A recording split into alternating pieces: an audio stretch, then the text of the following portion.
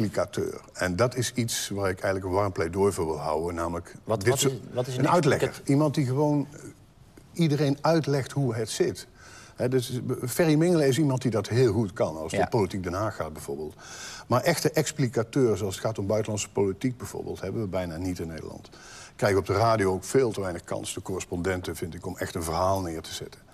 Ehm, maar ook als het om kunst en cultuur gaat, zou ik willen. Henk van Os heeft het nog een tijdje gedaan, de, eh, de oude directeur van het Rijksmuseum.